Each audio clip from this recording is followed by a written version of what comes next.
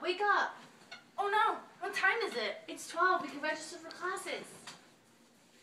Registration opens April 1st for upperclassmen and April 2nd for everyone else and lasts through the 12th. Be proactive.